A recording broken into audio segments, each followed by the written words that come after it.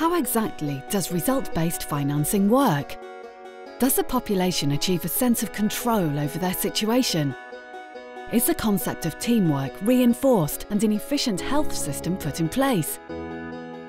Result-based financing is organised by Cordaid. Functions are split and every member of the chain plays an essential role in the outcome of the system.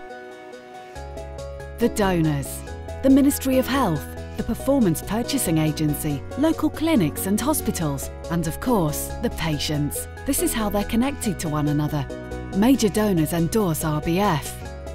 Then the Ministry of Health and the Performance Purchasing Agency agree upon precise objectives to achieve and use indicators to measure the level of performance.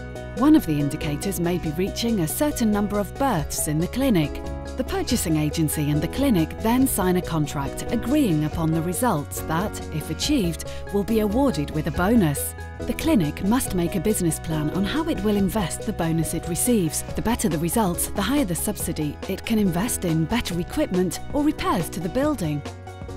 In case of an emergency, the purchasing agency raises the subsidy so the healthcare can be given to patients for free or at a reduced cost.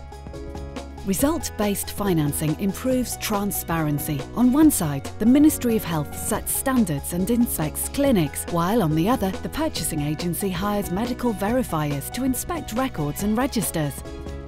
At the same time, local associations are in charge of verifying whether patients receive healthcare according to agreement.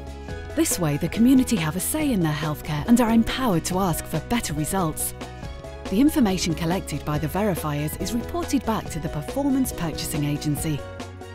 Today, Cordaid is working towards Open RBF, an open data system where every stakeholder in the chain will have the right to access information and results regarding the RBF system. This chain of communication guarantees transparency and high quality in healthcare